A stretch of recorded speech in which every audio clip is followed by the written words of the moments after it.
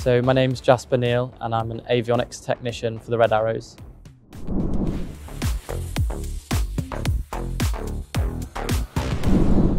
Uh, so my job involves maintaining the aircraft, um, all the electrical aspects of the aircraft, um, making sure that they're functioning properly um, and yeah, everything's working.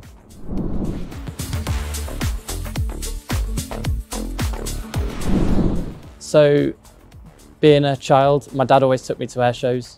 Um, so I've, I've had a passion for aviation since I was a little kid. Um, and yeah, I've just been bitten by aviation.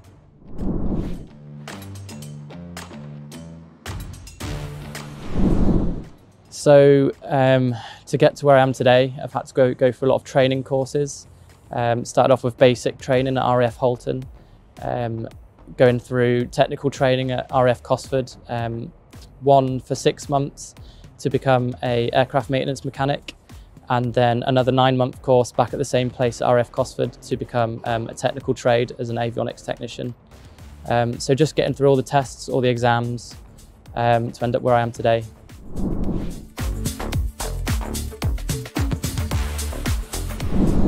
So um, staying positive is definitely one of the key um, points.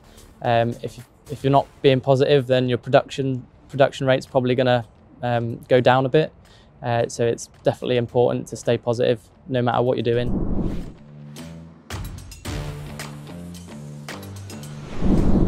So um, what I enjoy most about my job is uh, probably generating the aircraft, um, getting them in the air so that the public can see them.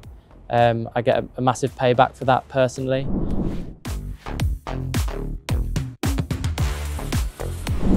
Um, the worst bit probably is the early mornings. Um, just I'm not a morning person, but it's worth it in the end.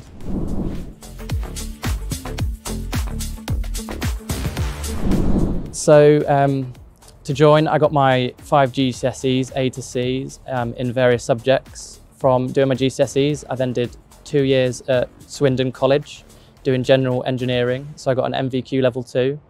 Um, from college, I put my application in for the Air Force. Um, I then went through selection, passed selection, um, and then onwards to RF Cosford for my six month training to become an aircraft maintenance mechanic.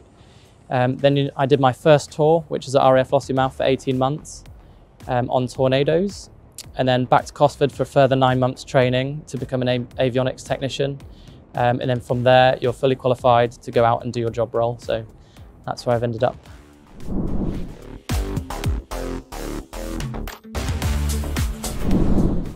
Um, just try not to second guess yourself. Um, if you can see something that you really want to do, just go for it because um, you don't know if you don't try.